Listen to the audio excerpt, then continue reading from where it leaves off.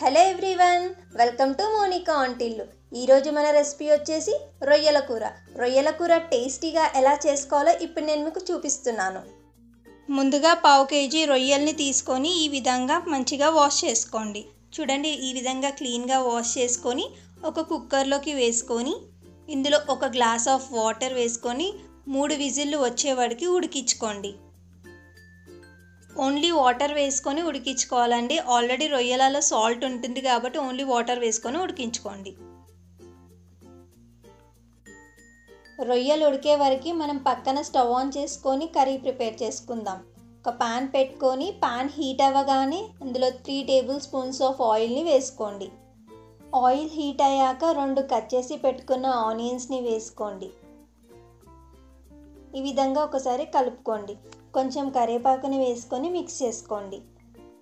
Onions కరివేపాకు వేగాక golden colour వచ్చాక అందులోకి రెండు కట్ చేసి పెట్టుకున్న పచ్చిమిర్చిని వేసుకొని కలుపుకోండి.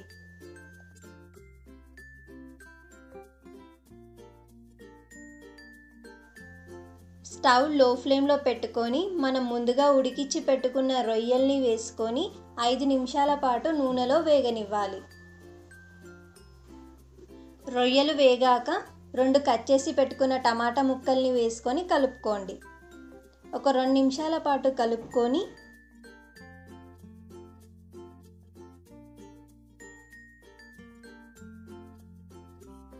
ఇందులో ఒక స్పూన్ పసుపు ఒక స్పూన్ అల్లం వెల్లుల్లి పేస్ట్ రెండు చెంచాల కారం టేస్ట్కి సరిపోయేంత సాల్ట్ని వేసుకొని కలుపుకోండి.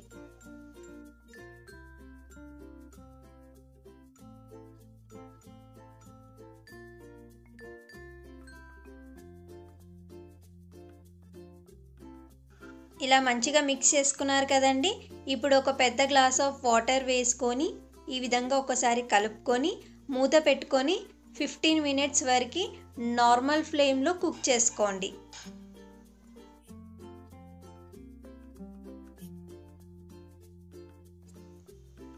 ఫిఫ్టీన్ మినిట్స్ తర్వాత ఒకసారి మూత తీసి చూడండి. వాటర్ కనుక ఉంటే ఈ విధంగా వాటర్ ఉన్నట్లయితే ఒకసారి కలుపుకొని ఇంకొక టెన్ మినిట్స్ వరకు కుక్ చేసుకోండి మూత పెట్టుకొని నార్మల్ ఫ్లేమ్లో.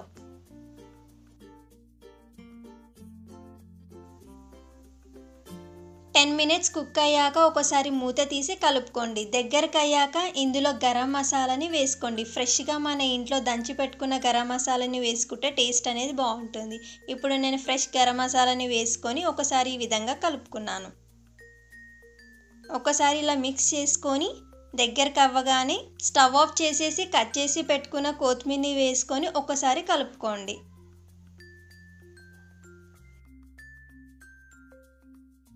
రుచికరమైన రొయ్యల కూర రెడీ. చూసారు కదండి ఎంత ఈజీగా మన ఇంట్లో రొయ్యల కూర అనేది ప్రిపేర్ చేసుకోవచ్చో. సో ఇంకెందుకు లేట్? మీరు కూడా తప్పకుండా మీ ఇంట్లో రొయ్యల కూర ఈ విధంగా ట్రై చేయండి. ఎలా వచ్చిందో నా కమెంట్స్లో మెన్షన్ చేయండి. ఈ రెసిపీ కనుక మీకు నచ్చినట్లయితే లైక్ షేర్ సబ్స్క్రైబ్ చేయడం మర్చిపోకండి. మళ్ళీ రేపు ఇంకొక రెసిపీతో మీట్ అవుతాను. Thank you for watching my videos.